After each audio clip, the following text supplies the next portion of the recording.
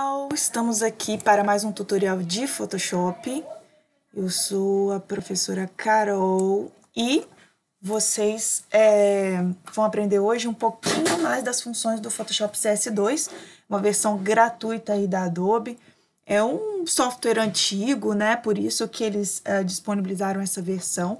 Mas uh, o mesmo comando que vocês vão aprender aqui estão disponíveis nas versões mais recentes.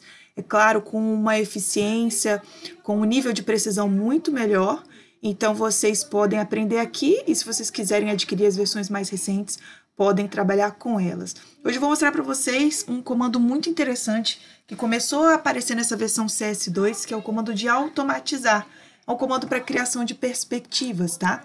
Aqui vocês podem ver que eu tenho várias fotos tiradas de uma mesma região do centro de Vitória, né, o centro portuário de Vitória. Eu vou aqui ampliar para vocês verem, né? Essas uh, panorâmicas, né? É, hoje os celulares, né, já estão aí com a função de panorama, mas quando a gente quer tirar fotos em alta qualidade, em alta resolução, e para a gente imprimir, inclusive, essas fotos de repente num quadro bacana, num quadro grande, ou para a gente fazer uma imagem de background interessante para nossa maquete, é legal a gente tirar várias fotos e juntar essas fotos no computador, porque ela vai ter um tamanho maior, uma resolução maior, e aí nós vamos poder imprimir com mais qualidade também. Tá? Como é que a gente vai fazer? Eu tô com esses arquivos todos abertos, tá? Todas as fotografias aí do panorama. As fotos não estão tratadas ainda, vou tratá-las de uma vez só quando eu já tiver feito, criado o panorama. Então, simplesmente vou deixá-las abertas aqui, abertas aqui. Vou lá em File, Automate, uh, Photo Merge, tá? Photo Merge é o nome do comando aqui da ferramenta. E aí ele já vai me perguntar aqui se são todos esses arquivos que eu quero, todos são todos os arquivos abertos no Photoshop que você quer transformar num panorama único. Então eu vou selecionar todos aqui, vou segurar aqui no, vou selecionar o primeiro, vou segurar o Shift e vou clicar no último para selecionar todos os arquivos. E eu vou deixar marcado aqui a opção tentar automaticamente arranjar ou somar ou juntar todas as imagens, tá? Ele vai tentar juntá-las automaticamente e se a gente não conseguir que ele junte, nós vamos fazer isso manualmente. Eu vou apertar OK, ele vai dar uma pensadinha aí e vai arranjar esse panorama é, de fotografias. Observem aqui, vocês podem aumentar ou diminuir aqui a, o zoom, né, dessa área de trabalho. Observem que existem tons, né, diferentes nessa fotografia, né, é, são as marcas, né, de que houve aí uma mescla, né, inclusive aqui existe um, um serrilhado, depois a gente vai poder tratar isso com outros comandos, como o crop, por exemplo. É, mas o interessante é que, além disso, além de juntar e de colar as imagens perfeitamente, é, ele tem essa uh, opção aqui de criar uma perspectiva. Ó. Ele dá uma exagerada na perspectiva para a gente ter essa sensação mesmo de, uh, de uh, perspectiva a olho nu, né? Quando a gente consegue observar essa curva, né? no horizonte. Então ele não achata a imagem, eu acho bem interessante. E se a gente for clicando nas fotografias, ele vai é, mudando aí a posição da perspectiva. Se a gente quiser voltar ao normal, também pode. Então, se eu selecionar a perspectiva de um lado aqui, ele também altera a, o ângulo da perspectiva conforme as opções das nossas imagens. A gente pode fazer isso tanto para panoramas assim urbanísticos de paisagens interessantes, quanto para montagens de maquetes eletrônicas. Por exemplo, é, vou dar um outro exemplo para vocês depois desse, vamos só terminar de ajustar. Mas vocês estão fazendo uma maquete uh, de uma casa no SketchUp. E nós sabemos que as imagens do SketchUp elas não têm uma qualidade, né, uma resolução tão boa. Então, mesmo vocês colocando na, a imagem no tamanho máximo dela, é, ela vai provavelmente vir com um tamanho pequeno. Então, vocês podem fazer várias imagens de partes da maquete de vocês, virem aqui no Photoshop e juntarem. Assim, vocês vão ter uma foto muito maior, com mais qualidade, com mais resolução para impressão. Vocês viram que eu modifiquei aqui a posição, né? Ele juntou automaticamente, mas eu posso variar aqui a posição, eu posso é, tentar juntar manualmente, tentar modificar aí é, a perspectiva é, manualmente também, tá? É, aqui também tem algumas opções, né? de blending, de preview, nós não precisamos mexer aqui. É, eu posso também marcar que eu quero que elas continuem sendo layers ou não, elas já vão é, ser uh, coladas umas nas outras. E eu prefiro assim, depois para a gente poder editar. E vocês viram que quando eu dei uma exagerada nessa perspectiva aqui, ela perdeu um pouco da qualidade, né? Ele esticou mesmo a imagem. Então, quanto menos ele esticar, melhor. Acho que dessa forma tá interessante. Eu vou dar o OK aqui. E ele vai me trazer esse arquivo é, até agora, né, com o formato mais cilíndrico aqui do, da linha do horizonte, como eu deixei marcado lá no uh, Automate, Automate Photo Merge.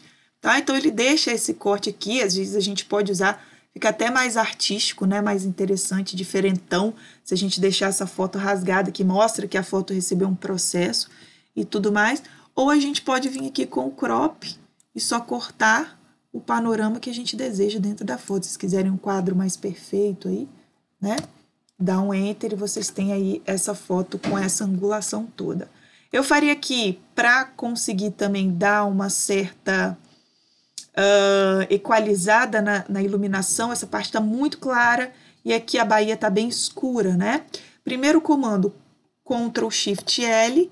Ctrl Shift L seria o comando de automatizar uh, os níveis, né? Automaticamente consertar os níveis da imagem.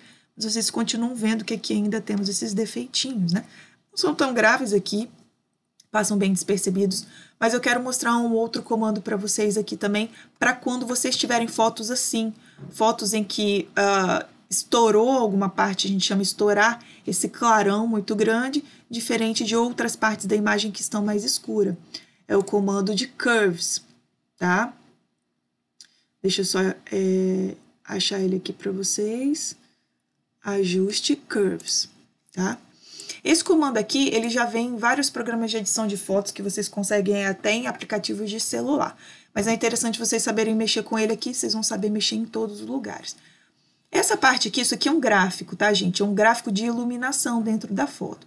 Sendo que aqui representa os tons é, mais escuros e aqui representa os tons mais claros da imagem. Então, se eu quiser editar essa curva, eu posso puxar para baixo, né? Aqui, claramente, é, esse gráfico mostra que eu estou me aproximando dos tons mais escuros, então eu estou escurecendo. Ou eu posso puxar para cima, me aproximando aí dos ângulos mais claros. Vocês estão vendo que todas as vezes que eu é, clico na linha, né, ele cria vários pedaços, né? E quanto mais é, pontinhos desse eu criar, mais suaves serão as minhas edições, porque eu poderei é, colocar uh, níveis mais uh, menos drásticos, né, de alteração nesse gráfico de curvas, tá? Então, eu vou cancelar aqui para fazer de novo, porque eu não quero tantos pontos assim, tá? Imagem, ajustes, curves, tá? Eu gosto de criar dois ou três pontos no máximo, tá? Com esses dois ou três pontos, eu vou puxando, ó. Eu vou puxando para escurecer em alguns pontos, eu vou puxando para clarear em outros, tá? E se eu quiser, eu posso escurecer totalmente ou clarear totalmente. No meu caso aqui, eu só quero escurecer um pouquinho o tom desse céu, então eu vou puxar essa parte que está mais, partes que estão mais claras da imagem, né, que é o final do meu gráfico. Vou puxar um pouquinho para baixo, mas eu não vou deixar a curva ficar tão drástica assim, né? Porque se eu tiver muita diferença nos níveis, a foto também fica muito artificializada, né? Então, na verdade, eu só quero suavizar um pouquinho o clarão desse céu, para ele não ficar tão explodido, beleza? Então, eu quero uma curva bem suave aqui embaixo, tentar ao máximo manter o padrão de cores aqui embaixo e vou alterar apenas mesmo lá em cima essa curva é, que diminui um pouquinho, tá? O clarão aqui de cima. Então, eu vou no preview para mostrar para vocês, ó. Antes, clarão, depois um equilíbrio melhor de cores, tá? A imagem não está tão estourada assim, para quando vocês tiverem imagens estouradas, que são essas imagens com clarão muito grande, façam esse comando de curves, beleza? Ainda não estou contente com essa imagem, não acho que ela tem cores é, bonitas como ela poderia ter. Eu posso hum, novamente aplicar o Ctrl Shift L para fazer automaticamente, mas ainda não estou satisfeita. Quais são as alterações que eu posso fazer aqui para ter uma imagem um pouco mais equalizada em termos de cores? É, então, basicamente, gente, são é, os comandos de contraste e de saturação dessas imagens, tá? Eles estão aqui em ajuste também, brilho e contraste. O contraste é, ele enfatiza as cores claras e as cores escuras. Então, ele dá uma reforçada na característica natural da iluminação da imagem. Então, não é isso que eu quero, tá? Eu vou voltar ele para o ponto zero aqui, ou até mesmo diminuir um pouco se eu quiser. Mas em algumas fotos que são equilibradas, o contraste ele fica interessante. Né? Ele dá um pouquinho assim de ânimo, vamos dizer assim, para a fotografia, tira um pouco o embaçado da fotografia. Então, eu vou aplicar aqui um contraste de 8 que está suficiente, deixou a foto mais brilhante, mais bonita, tá? E aqui no brilho é o contrário. O brilho, ele cria esse tomzinho de embaçado, tá? Na imagem. Então, vocês estão vendo que quanto mais brilho e mais contraste eu coloco, mais estourado fica o céu lá em cima, mas ao mesmo tempo, as imagens que estão aqui embaixo, elas, ah, esse panorama, esse, essa paisagem está ficando mais interessante, as cores estão ficando mais vibrantes né? Estão ficando mais claras. Então eu posso exagerar no brilho e no contraste, se eu quiser que as fotos tenham esse impacto, essa cor, essa vida. E depois o que, que eu posso fazer? Eu posso retirar o céu que eu não gostei e trocar esse céu por um outro céu, tá bom? Posso fazer isso aqui, ó, com o comando da varinha mágica, eu vou duplicar. É, vocês estão vendo que como tem muitas nuvens, a varia mágica vai ficar bem difícil né, de ser usada. Então, um outro tipo de seleção que é a seleção magnética, só que assim, eu faria a seleção magnética com um zoom muito grande na foto. Por quê? Porque ela é bem certa, né? Ela vai pegando pela tonalidade da cor, ela pode acabar entrando dentro da fotografia. Nesse caso, quanto mais contraste você tiver, melhor. Como nós aplicamos o contraste aqui, temos uma diferença grande entre o céu e a paisagem embaixo, é, eu vou poder usar a seleção magnética. Eu não estou apertando nada com o mouse, eu só cliquei uma vez lá no início, estou empurrando o mouse por todo esse trecho de panorama aqui. Tá? É o Skyline, né, o comando do Photomerge, ele é, foi criado justamente para esse Skyline, mas eu vou mostrar para vocês depois, aqui eu estou passando por fora, né? Ctrl menos é o zoom menos. Ó, acabei selecionando errado aqui, mas não tem problema não, porque depois eu vou dar um crop, tá? vou continuar aqui, vou fechar, apareceu a bolinha, eu clico para fechar, beleza? Agora eu vou inverter a seleção dessa imagem. Uh,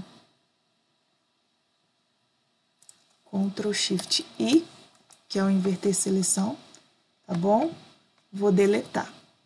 Agora eu tenho o meu fundo e o meu skyline aí prontos para receberem um novo céu, né?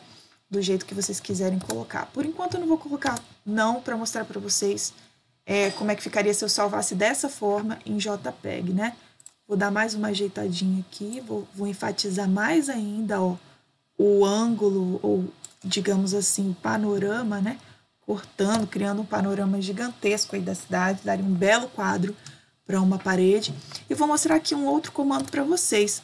Vamos supor que aqui no meio desse panorama vocês gostariam de enfatizar nosso palácio aqui, ó. É o palácio, né? É o Palácio Anchieta aqui, ó, o panorama do centro de Vitória. Tá bom? Essa imagem foi tirada de Paú é, para uh, Vitória, né? Mostrando Vitória aí, tá? O antigo Hotel Imperial, programa Minha Casa Minha Vida que tomou para fazer habitação de interesse popular, uma excelente iniciativa. Mas vamos então é, fazer uma ênfase, dar uma ênfase a esse palácio, como se fosse nossa casa, uh, simulando a nossa casa no meio do panorama. Então eu vou tirar a saturação, eu vou transformar toda essa imagem em preto e branco, menos o nosso palácio, como eu faria. Vou selecionar agora aqui com a opção de laço retilíneo eu vou pegar somente mesmo aquilo que eu quero dentro da imagem. Vou ser bem rigorosa aqui com isso para poder dar o destaque que esse palácio merece. Olha, ele fechou sem querer, o que, que eu vou fazer? Segurar o Shift para acrescentar mais alguns pedaços na seleção. Isso é muito comum de acontecer, gente, quando eu estou fazendo imagens é, muito grandes com detalhes muito pequenos, tá? Ele fecha sem querer a seleção, é só você segurar o Shift e vai aparecer o sinal de mais. Selecionei o que eu quero enfatizar, que é o palácio, vou inverter a seleção, Ctrl Shift I. Inverti a seleção, agora vou tirar a saturação. Tirar a saturação é transformar toda essa imagem em tons de cinza, menos aqui o palácio que eu selecionei. Então, imagem, ajustes, Rui Saturation, tirei a saturação, tá? Ok, uma vez que a saturação está retirada, nós temos o nosso palácio amarelinho ali, ó. Agora eu quero enfatizar esse, essa cor, eu quero trazer contraste e saturação para destacar essa cor, esse amarelão do palácio no meio da paisagem. O que, que eu vou fazer? Vou inverter a seleção novamente, Ctrl Shift I, imagens, ajustes, saturação bem saturada, luz vai tirar, a luz vai tirar muito a minha qualidade da imagem. Então, eu só vou colocar só um pouquinho, ok? E vou colocar um pouquinho mais de contraste também. Gente, se a gente exagerar em qualquer comando, brilho e contraste, mais contraste. Se a gente exagerar em qualquer comando, a gente pede resolução. Eu vou exagerar aqui, por exemplo, ó, perco resolução da imagem, parece uma imagem artificializada. Então, sejam moderados na aplicação desses comandos aí, beleza? Vou dar um ok aqui mas a minha função de enfatizar o Palácio Anchieta no meio da imagem é, foi ah, realizada, tá bom? Vamos salvar esse panorama aí como JPEG para ver como é que ficaria. Save as, é, JPEG. Vou salvar aqui na aula 4 mesmo, panorama, centro de Vitória. para vocês verem que o fundo fica branco. Ok, uma vez que eu salvo como JPEG, essa imagem ela vai ficar assim, ó. Ela vai ficar com o fundo branco, tá bom? Nesse caso eu quis fazer de propósito, eu tenho uma imagem preto e branco, então é interessante que o céu esteja chapado para enfatizar o skyline, para enfatizar o panorama, mas é, vocês podem colocar o fundo aí como vocês quiserem, tá bom? Esse aí foi o comando de photomerge para uma paisagem, para enfatizar um fundo, né, para enfatizar uma fachada dentro de uma paisagem, como vocês quiserem aí fazer. Uma outra opção seria fazer isso com as imagens que vocês produziram dentro do Photoshop, tá bom? É, do, desculpa, do SketchUp. Aqui está um exemplo por, é, de imagens que eu gerei, né, de uma residência aí, feita no SketchUp, modelada no SketchUp. Só que ela vem, tá vendo, com essa, esse serrilhado, com essa qualidade baixa, né? Ela foi renderizada, mas é, com render gratuito que não me dá uma imagem de boa qualidade. Então, o que, que eu fiz? Renderizei várias partes, vários pedaços dessa maquete e posso trazer para o Photoshop, fazer o comando de Photo Merge para gerar uma imagem maior com um pouco mais de resolução. Como é que eu faria isso aqui então? Vamos fechar esse panorama aqui. Não vou salvar, que eu já salvei em JPEG. Vou fechar para não confundir também na hora de abrir. Vou trazer essas quatro aqui, ó. Seleciono uma, seguro Shift e clico na última para uma seleção rápida. Joguei no Photoshop. Agora eu vou lá em File, Automate, Photo Merge. Seleciono todas elas. Ok. Aqui eu já sei que vai acontecer um probleminha. Por quê? Porque ele não consegue arranjar automaticamente as imagens. Elas estão em posições, elas foram geradas, elas foram produzidas em posições muito diferentes umas das outras. Então, o que, que eu vou fazer? Eu vou puxar para cá e eu mesma manualmente vou tentar fazer essa montagem, usando o modo normal ou usando o modo perspectiva, que me ajuda também no exagero de, desse panorama, né? Me ajuda a encaixar coisas que estão meio fora do lugar, né? Vocês podem ver que aqui é, vai ser um pouco mais difícil do que o panorama que a gente gerou, porque é preciso que as imagens sejam produzidas da forma correta, que as fotos, né, ou as imagens geradas estejam corretamente posicionadas, né, na hora de você tirar esse panorama. Você, é, por exemplo, quando você está com a câmera na mão, né, com a máquina fotográfica, você consegue tirar todas as fotos do panorama numa mesma posição. No SketchUp isso é um pouco difícil de medir, né, de processar, mas é possível também. Então aqui é uma tentativa, tá vendo? Já consegui uma perspectiva interessante. Sumiu aqui esse carro, não tem problema, não é o nosso foco.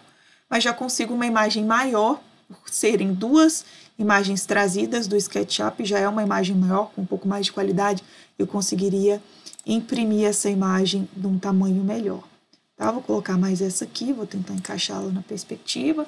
Fica um pouquinho fora, posso puxar, posso tentar encaixar melhor aí, mas realmente é, a qualidade delas não tá boa, né? Vou deixar assim mesmo. Essa daqui eu sei, pela posição dela tá bem diferente, por ela estar com um certo zoom até, né? Vai ser difícil encaixá-la, a gente pode tentar aqui, exagerando na perspectiva, tentar fazer alguma coisa é, dar certo aqui. Tá difícil, né?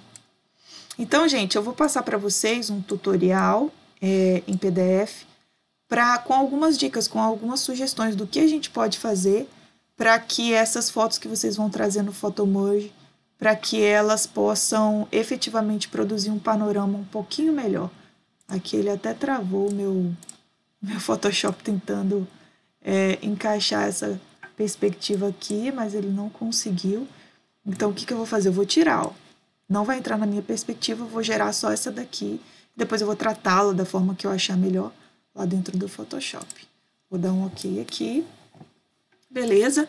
Ele deixou as minhas outras imagens como elas estavam. Eu vou fechar aqui e vou tratar essa foto aqui. Vou tirar, eu vou colocar uma outra aqui, um outro encaixe depois. Vou gerar esse JPEG e somar com outras fotos depois aí conforme a necessidade de vocês.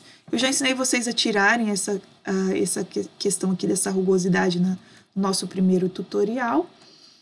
É, aqui a gente poderia aproveitar parte, né, dessa fachada aqui, talvez assim, dando um crop aqui, né, teríamos alguma perspectiva, ou então poderíamos deixar assim, mais artística também.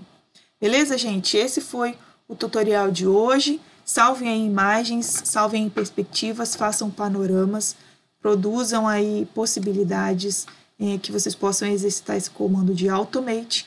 E na próxima aula a gente vai falar um pouquinho sobre efeitos né, de fotografias que a gente pode fazer tanto das imagens que a gente vai trazer do SketchUp, quanto a gente pode fazer para criação de pranchas artísticas, montagem de desenhos em prancha, tá bom? Fico por aqui, até a próxima. Em caso de dúvidas, podem me procurar ou comentar aqui embaixo e a gente, assim que possível, vai responder. Um grande abraço a todos.